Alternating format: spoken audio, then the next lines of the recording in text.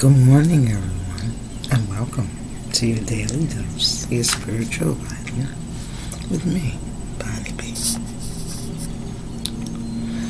Uh, it's still kind of early. Let me pull that close so y'all can see me.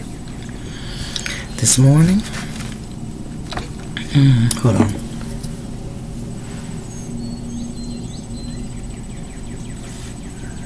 It's not too bad. This morning, we're going to pick right back up.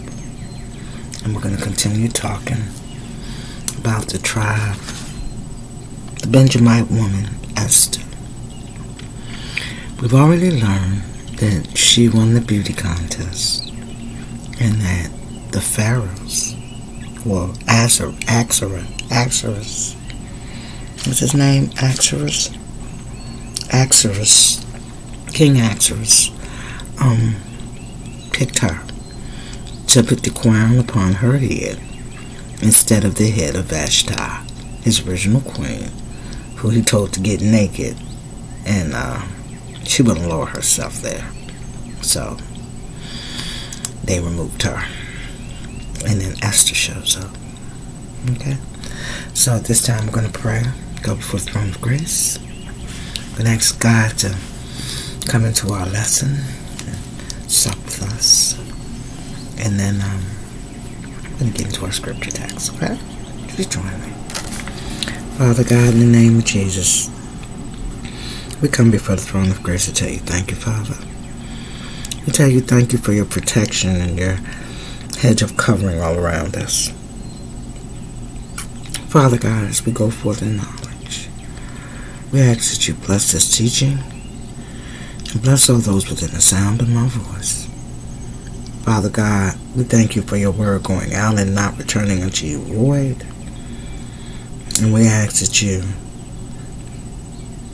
increase the number of people who are within the sound of my voice, that they may hear your good word and get the message that you mean for them to get. In your son Jesus' name I pray. Amen. Okay. Now, we're going to pick up right here. Talk a little bit about Haman. Haman was a racist, okay? He didn't like Esther. Not at all. So, let's move forward in our lessons and get what we need, okay? So, we're going to pick up right here. The good book states, There is nothing new under the sun. And the book of Esther certainly proves this. After Axarus took Esther as his queen, he promoted a black man who was a, a descendant of Agag, a black Amalekite king who was chopped into pieces by the prophet Samuel. 1 Samuel 15:33. Now this man was Haman the Agite, a descendant of the Amalekite king in Esther 3 and 2. And recall that the Amalekites were the offspring of Esau's five marriages to black women of Canaan, called the Canaanites. So the Amalekite, the Amalekites are the descendants of Esau through the birth of their mothers who were Canaanites, or the cursed tribe of Ham. Okay? Um, after his promotion, Haman was leaving the king's palace and noticed everyone bowed to him except Esther's uncle, Mordecai.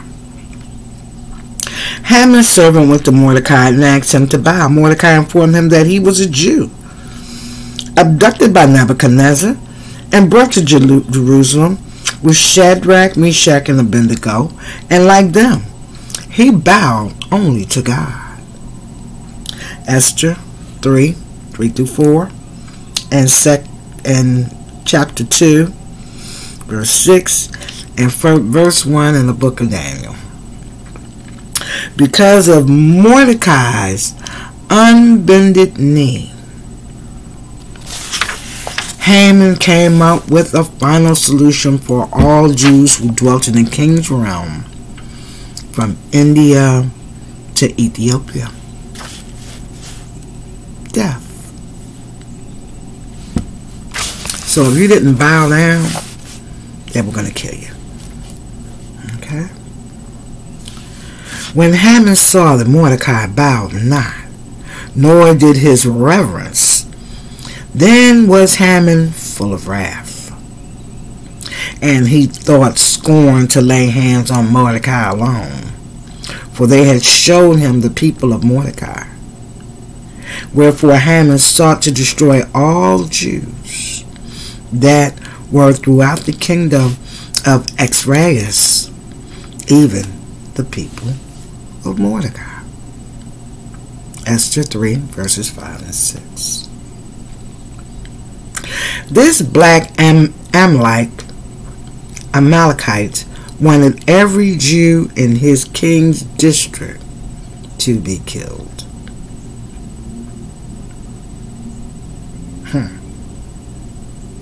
Haman. He wanted every Jew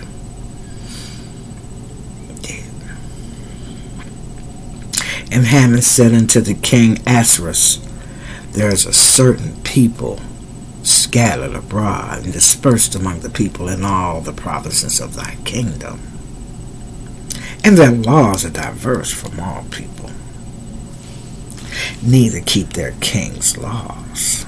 Therefore, it is not for the king's profit to keep them. If it please the king, let it be written that they be destroyed. And I will give thy treasure ten thousand pieces of silver.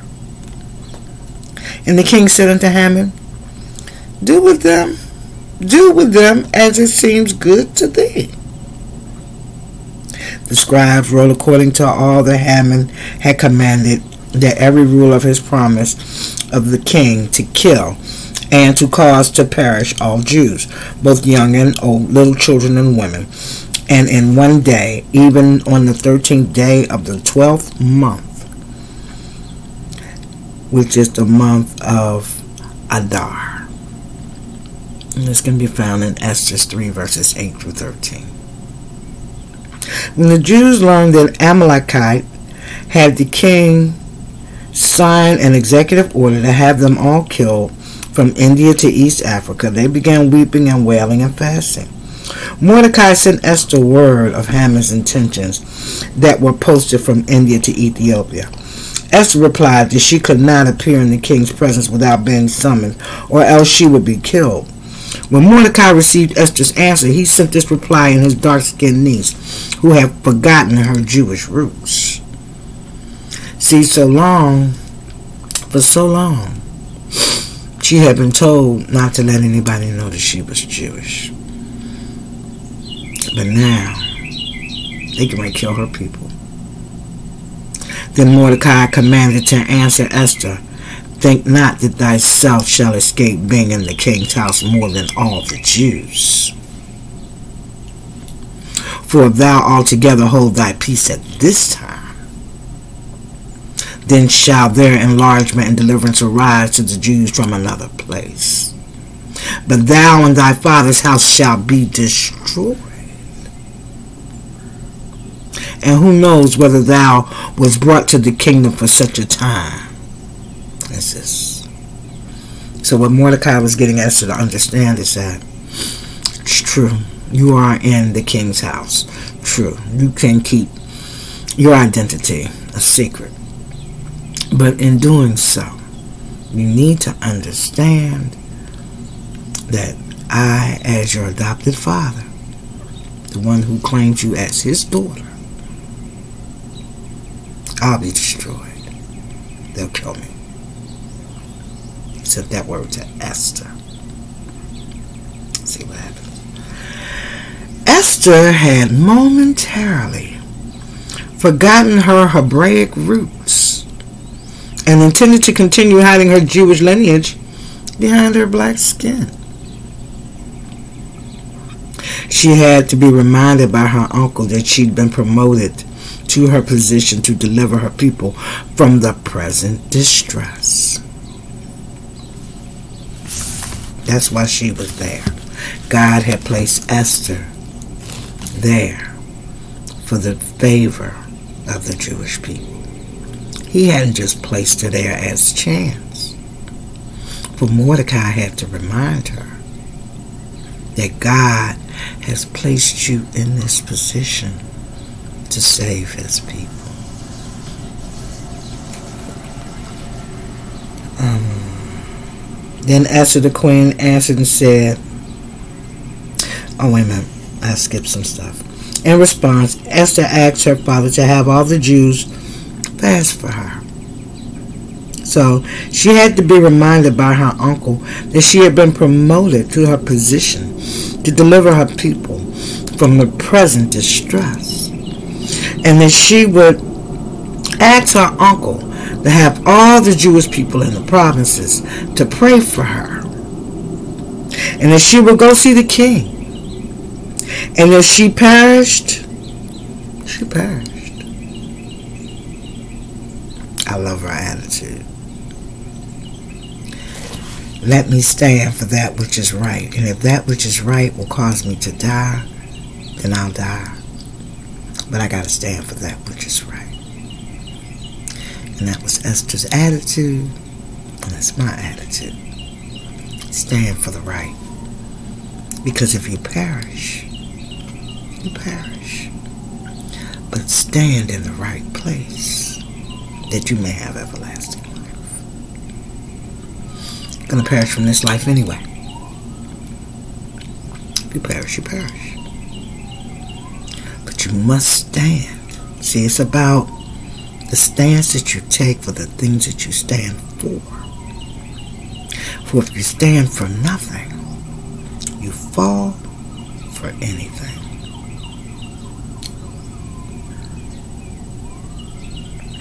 The story climaxes as Esther invited Haman to join her and her husband, the king. As Esther invited Haman to join her and her husband and the king for dinner, the king was so pleased with Esther that he told her that he would grant her any desire of her heart, up to half of his kingdom. It's a favor. Esther was so loving and pleasant and kind that she found favor with the king, her husband. And he loved Esther so much that he was quite pleased with Esther. And he said, Ask me, your husband, anything you want, and I will give it to you, up to half of my kingdom. That's love. That's a king. That's a king to hold the one that you love in such high regard, to know this is your partner. She held the king in high regard, and the king held her in high regard. And that's how it's played. You do to them what you want done to you. Prosody. Let's get on. Then Esther the queen answered and said, If I have found favor in thy sight, O king, and if it please the king, let my life be given at my petition, and my people at my request. I have held my tongue for bondmen and bondwomen. And I have held my tongue because of the enemy. Then King Ahasuerus answered Esther and said, Who is he?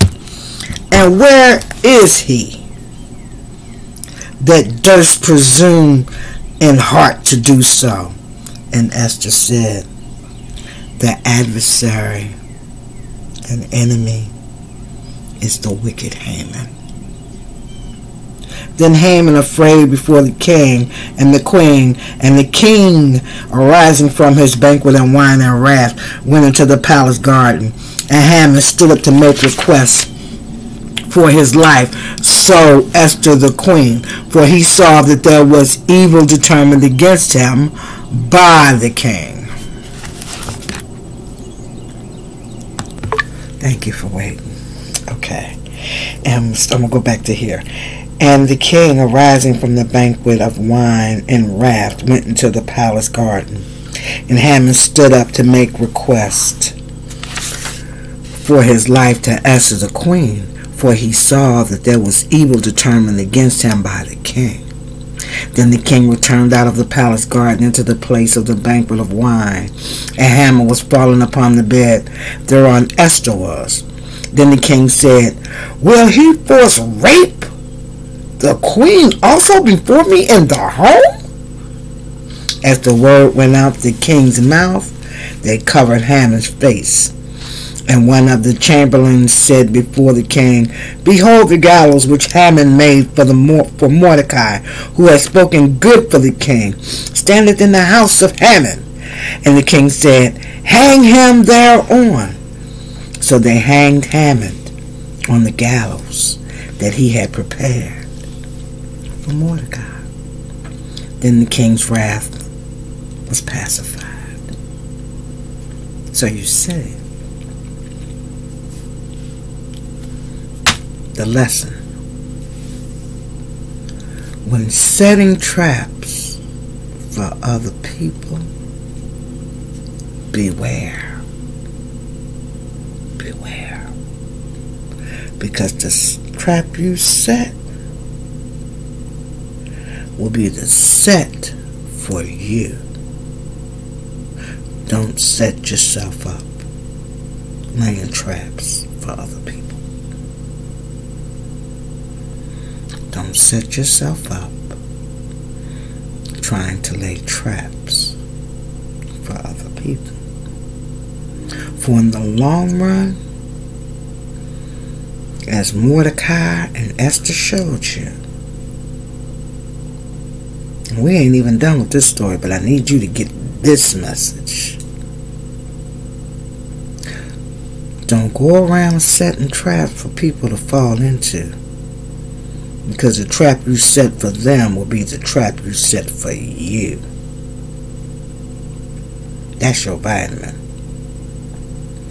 Don't go around setting traps for other people because the trap you set up will be the trap you set for you.